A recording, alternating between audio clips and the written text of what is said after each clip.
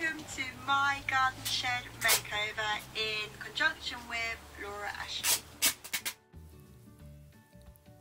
When we first moved into our little house in the country, I needed somewhere to store all my stuff and become a real good gardener.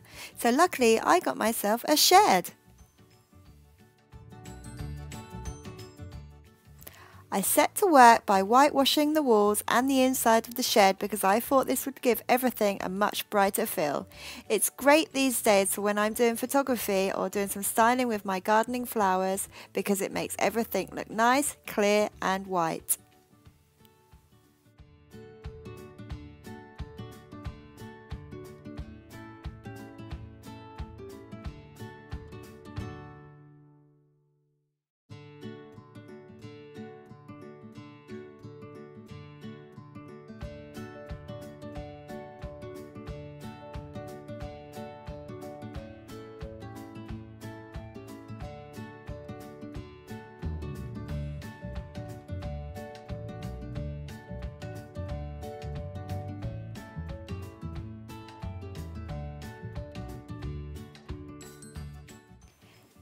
This is my daughter and she is a very, very good helper.